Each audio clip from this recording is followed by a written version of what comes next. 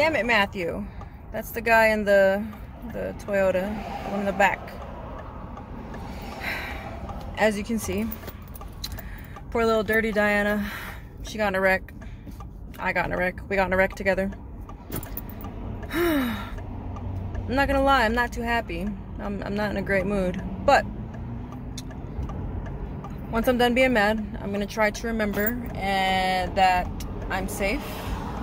Not overly injured. My back hurts, you know, but nothing they can do about that. And that Dirty Diana's not more injured than she is. She's got some dents and some scrapes in the back, but whatever.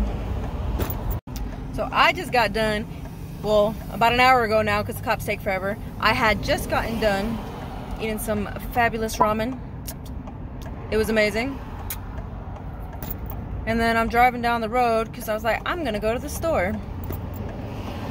It's pretty busy with traffic. Uh, I just come to a stop. About 10 seconds later, boom, car from behind hits me. And that car hit me because the person behind her, Matthew, damn it, Matthew, hit her.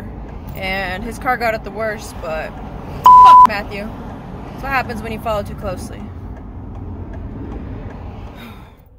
Hey guys, it's been a few hours since I was in the accident.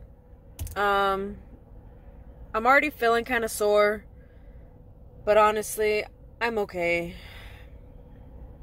Like physically, I'll be fine. I'm gonna be sore. My back's gonna hurt. My neck's gonna hurt.